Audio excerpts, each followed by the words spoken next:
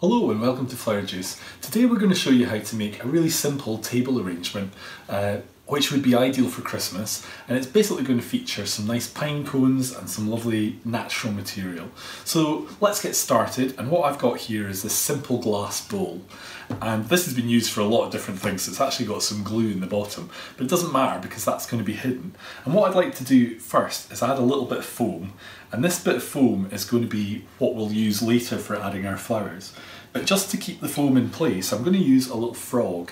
And this is a little plastic plastic piece that you can attach. And what I've used is I've used some of the Oasis Fix for attaching it. You just warm it up in your hand and it's like a, a sticky, a sticky base. So that's just going to allow our Oasis to stay exactly where we want it.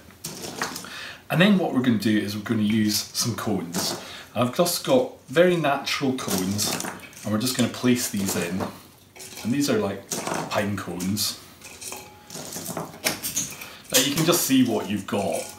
Um, but I do like the pine cones in their natural way because then you can use them in different ways. Now you could spend lots of time and grade them into different sizes, but we're not going to worry too much here.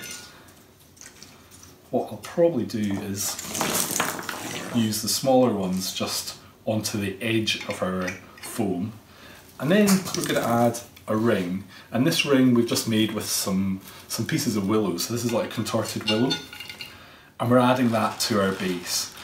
Now we've put that on, I can continue and just fill in right up to the edge with our cones. And the great things with the cones is they actually slightly start to interlock.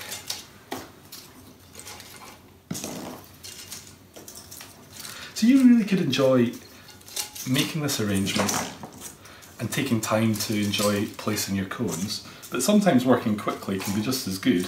You get just as good an effect, or just as random an effect. It depends what you're, you're thinking. So there we go, we've created our base, and we've got a lot of interest there. So your eye goes into that space. I do want to add a little cone or two just at the back of here. So really now our oasis is hidden and uh, we can work into it, we know it's there. And I've got a range of different materials that we're going to use. Got some other little pieces of skimmia. We've got some nice hypericum. And I really just wanted to pick some material that you think of as winter material. So the hypericum is perfect because it's got berries. And this is really where you need to have some element of um, water source, so like the foam is just perfect. So we're just really using this area as a focal point for our flowers. I'm just using the skimmia in the centre and then we're radiating out. But I've got this beautiful eucalyptus. Now this eucalyptus has been dipped and this is in a platinum metal. So what you tend to find at this time of year is that all these things start to become available. And uh, I think Italy is the country that really specialises in creating these lovely dipped materials. And you'll get all sorts of material that have been done with this effect. So straight away we can use that just to highlight the line that we're creating. The only thing is you do get it on your fingers, but it's not the end of the world. Now I've got a few beautiful roses that we want to use. I think this one's cherry brandy. Come back here.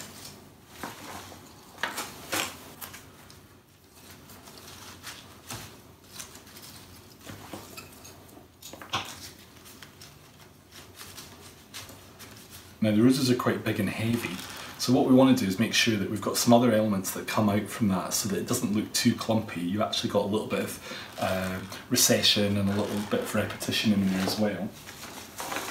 And I've also got a little touch of asparagus here. And this is the foxtail one, which I love. And I think that green really is a nice combination for a winter arrangement.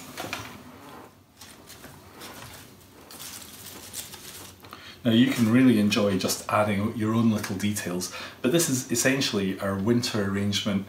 So we've created a lovely pinecone bowl uh, using a glass bowl underneath and created a very simple winter table arrangement. Now thank you for watching. If you want to subscribe then click here. If you want to watch one of our other videos then click here. Thank you.